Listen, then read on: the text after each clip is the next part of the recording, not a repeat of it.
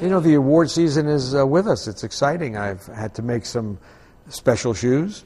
I like being pushed. I like the pressure and I like the challenge. And um, it seems to have paid off. Um, just, just this week, Octavia Spencer um, was at, at, won her SAG award uh, in our shoes, and uh, maybe it'll bring her good luck and she'll win the Academy Award for, for her role.